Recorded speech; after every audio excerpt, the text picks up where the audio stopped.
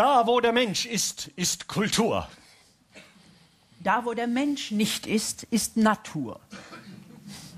Ja, und dazwischen, dazwischen befindet sich die sogenannte Kulturlandschaft. Beziehungsweise äh, die Landwirtschaft. Ja, da ist der Mensch in seinem Element. Ja, da kann er sich an einem wohlgeordneten Bewuchs ergötzen. Und an der frischen Luft austoben. Rackern, Ackern, säen, mähen, hegen, pflegen, ecken, stecken, schneiden, weiden, sensen.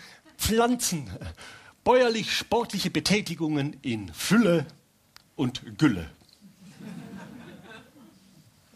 Obst, Obst gedeiht, wie nicht gescheit. Obst knospt und strotzt, den Stürmen trotzt. Letztlich ein Ding des Dungs. Ein beherzter Batzen Mist macht aus Raps erst, was er ist. Es lechzt das Nutzgewächs nach Jauche, so ist's seit alters her längst Brauche und Grund des Ackerstunks.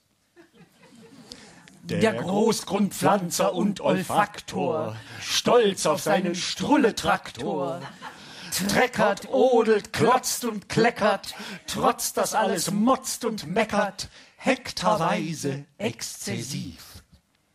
Selbst der Nebenerwerbslandwirt. Duldend, dass es degutant wird, gibt's den Erbsen? Volle Gülle, hüllt sein Erbstück Landidylle, knietief in Fäkalien mief.